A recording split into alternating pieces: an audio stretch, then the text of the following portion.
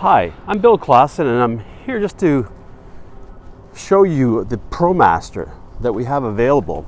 It's that one way at the back. Here it is. It's right here.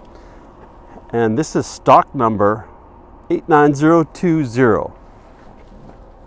And there's the vehicle identification number. I just wanted to show you that it was a 1500 ProMaster low roof. And there it is.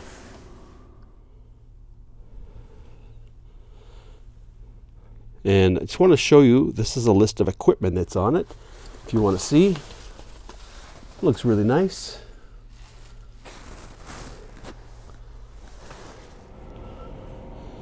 And here's what it looks like from the back. And you can see the backup camera there.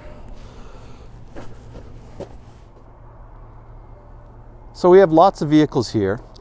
But I just wanted to introduce myself and show you that we do have this exact ProMaster. And I'm Bill Klassen.